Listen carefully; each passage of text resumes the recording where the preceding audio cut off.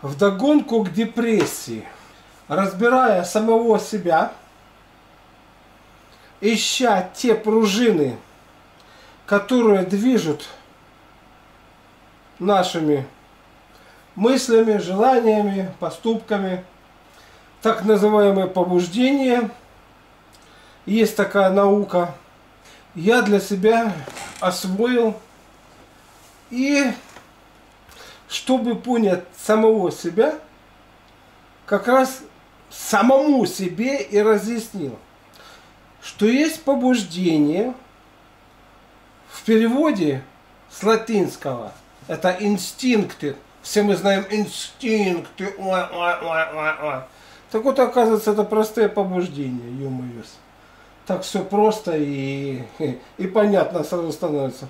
Так вот, первое побуждение, это побуждение к самосохранению, которое разделяется на заботу о своем здоровье, о своем благосостоянии в первую очередь, вернее, две. О здоровье и благосостоянии. Не будет здоровья, не будет самой жизни, если то а зачем вам нужно благосостояние и так далее. Ясно? Вот если с этим что-то, какие-то нелады, начинаются подспудные процессы в сознании, которые вызывают опять-таки тревогу, приводящую к депрессии.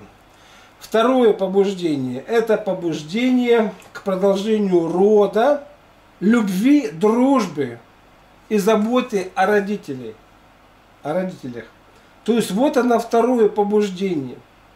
Если у вас со вторым побуждением какие-то нелады, то есть вы не дружите, вы никого не любите, то есть нету таких, у вас нету там, грубо говоря, заботиться о родителях, о детях, вот, вот таких вот вещей нету, то уже существует какая-то ущербность у вас – по этому побуждению, которое, опять-таки, выливается в какую-то тревогу.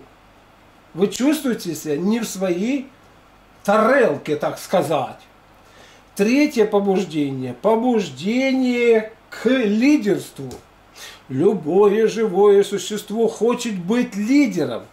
И если вам, будем говорить, вот это вот побуждение к лидерству – неадекватно, то есть вы не можете оценить свои лидерские достоинства или качества достойно, то есть вы не обладаете качествами лидера, а стремитесь там им стать, то это также начинает вызывать какие-то страхи, какие-то это. Вот вам не дают. Либо наоборот, вы чувствуете, что вы лидер, а не можете реализоваться. Такое есть. Это третье побуждение. Четвертое побуждение. Это побуждение к справедливости.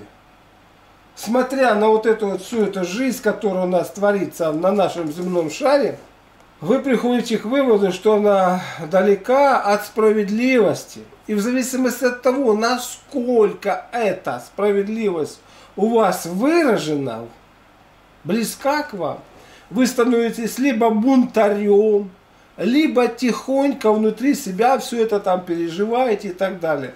Это тоже вызывает своеобразная депрессия. Видя вот это все, что творится, вы начинаете впадать в депрессию, что, мол, что не сделай, как не сделай, ничего там не, не будет. Справедливости не добьешься. И, наконец-таки, следующее побуждение – это побуждение к творчеству.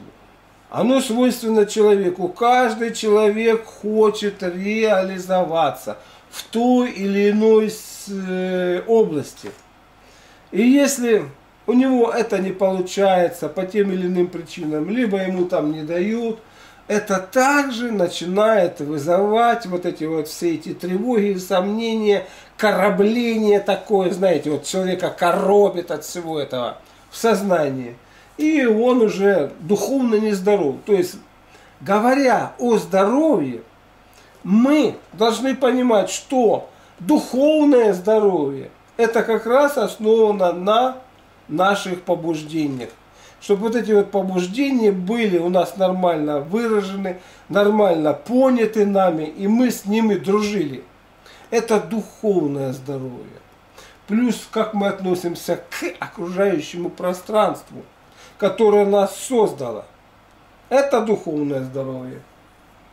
Психическое здоровье – это вот как раз вот эти все эти эмоции и так далее, которые, если их не понимаешь, они порождают психосоматические заболевания. То есть дальше идет психическое или, или можно так сказать, психическое здоровье, что подразумевает эмоциональное здоровье. Эмоция в переводе с латыни означает волновать. То есть, что там вас уже волнует. Волнует вашу энергетику, и вы просто расстраиваетесь, вы тут кипите, шипите, или же наоборот, после, будем говорить, э, бурно проведенных дебатов, ища справедливость и прочее, прочее, прочее, вы в конце концов истощаетесь энергетически и впадаете в депрессию.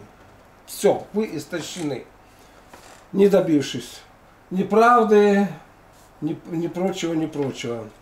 То есть, я сейчас вам рассказал, а до этого как раз там описал подробно. Те пружины, которые работают в вашем сознании, и которые вас делают вот такой вот личностью, с таким вот характером. Потому что в зависимости от того, как, насколько у вас выражены вот эти вот пять этих побуждений, на них уже основываются черты характера. Либо вы там любите деньги, любите, грубо говоря, заниматься там своим здоровьем, либо вы это не любите, ни деньги, не заниматься своим здоровьем. Либо вы прекрасный семенин, заботитесь о семье, любящий и так далее. Либо вы просто гуляка, который там гуляет, не о родителях не заботится и так далее и тому подобное.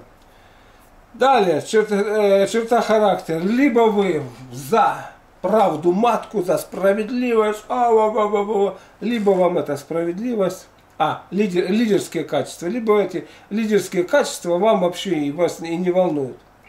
То есть вы лидер, готовы пойти по головам других людей, вот, либо же это вас не волнует. Ну, наконец-таки, справедливость.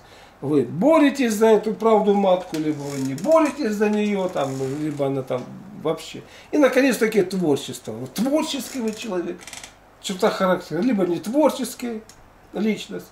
То есть я для себя разобрал, в первую очередь, вот себя, а все, все мы люди, в нас вот эти вещи заложены, все эти побуждения, в каждом человеке они заложены.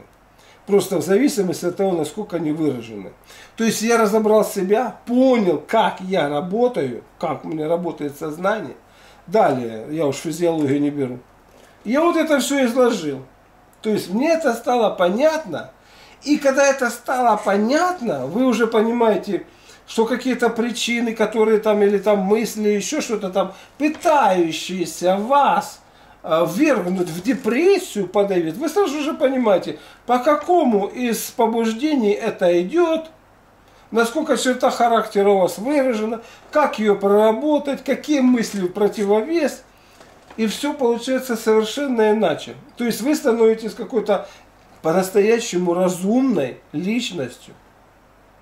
Противовес эмоциональной личности, которая реагирует на то иное – а потом, ой, ой, что со мной, я в депрессии, помогите. И вас просто-напросто, так как это все выражается, вот это все эти волнения выражаются в том, что вас надо либо успокоить, значит, применяют антидепрессанты, либо как-то вас взбодрить, если вы уже там вообще там потеряли всю энергетику. То есть все просто, но для этого надо постичь соответствующие знания, которые оказываются одними из самых важных по жизни. Правда, об этом нам никто не говорит, но я-то говорю, я-то стал другим человеком.